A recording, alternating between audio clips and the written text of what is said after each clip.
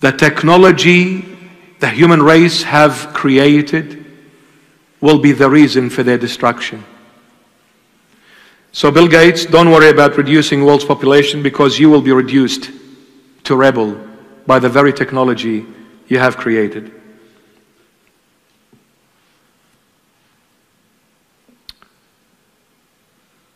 World War III will take place.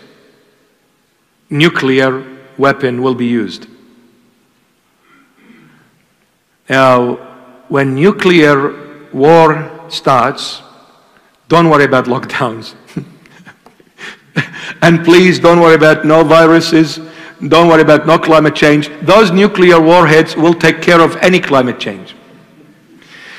The temperature will be so hot, even if you're in Antarctica, you will be going out with a singlet.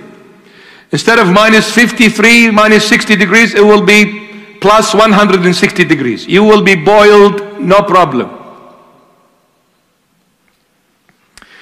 So is this what man, man is proud of? We've created the nuclear weapon. Wow. Look at us. We can fly a plane 5,000 miles away with by, by, remote control. Look at us. We've put how many satellites in orbit? Look at us. We are building a station on the moon and in, in space. Look at us. You are ignorant.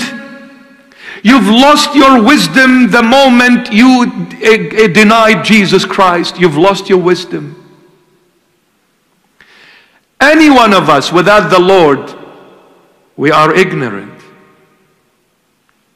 We become a stumbling stone. And to the Jews, the stumbling stone was their very religion. A religious person ends up being judgmental. Don't ever be religious. You are not a religious person. You are a Christian. You are living Christ. You are not doing certain duties to please Christ. You need to live Him. There is no obligations and duties in Christianity. When we talk to people of different faiths, we say, listen, Christianity is not a religion in the sense of a religion. Why? Because the moment you invoke the name religion or the word religion, automatically you are invoking a set of rules, guidelines, regulations, and laws. You go to all the religions of the world with all love and respect to them. You go to all of them and they will say to you, if you want to end up in a good place, you must do this and you must do this and you must do this. It's all about doing, doing, doing, doing in order to end up being in a good place. You come to Christianity, you read in the Gospel of John 15 5, the Lord Jesus says it very clearly and simply Without me, you cannot do anything.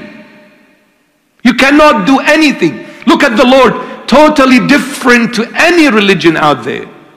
Totally different. Why? Because Christianity is based on love. I don't have the time. I have to leave you with it.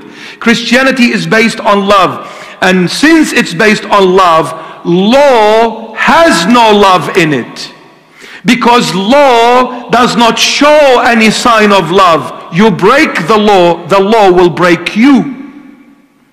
But when it comes to love, you break me, because you've done something wrong, I go and punish myself because the last thing I want to do is to punish you. Why? Because I love you, even though you hurt me, but I'll accept this hurt and pain as long as you are safe and sound because I love you. And we see this very vividly clear in parenthood. Parents suffer at the hands of their children, but they still continue being parents. And they still continue suffering for their pet children. And they still continue sacrificing for their children. Why? Because the love is genuine. Children go against them, parents don't. Children hurt them, parents don't. Children walk away, parents don't. Because there is true love. Christianity is based on love. And since it's love, it cannot have laws, rules, and guidelines and regulations because love does not exist in a set of words. Love exists between two parties. Love only exists between another person, person, another one.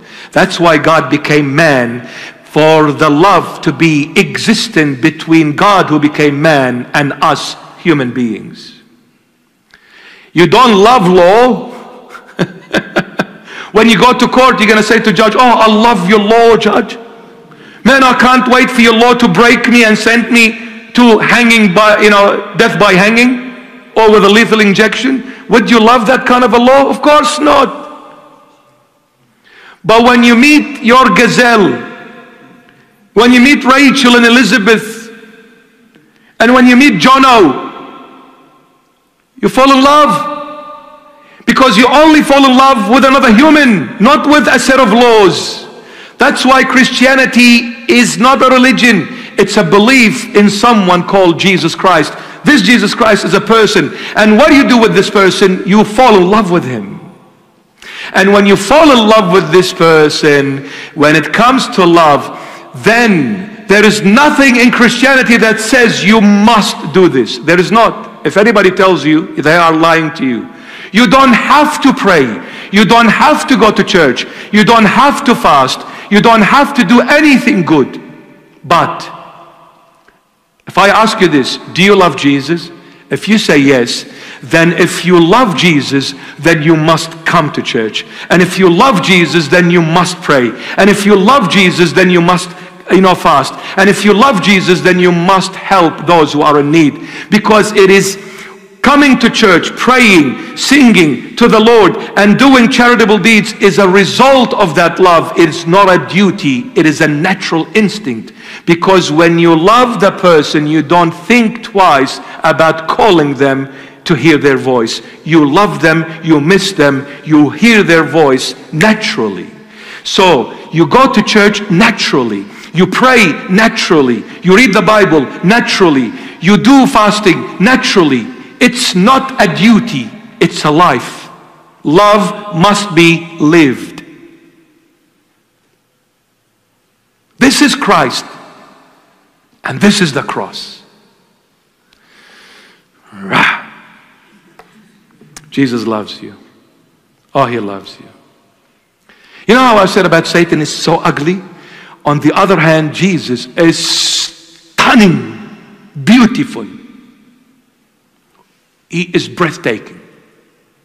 You see him, you lose yourself. You melt. You become speechless.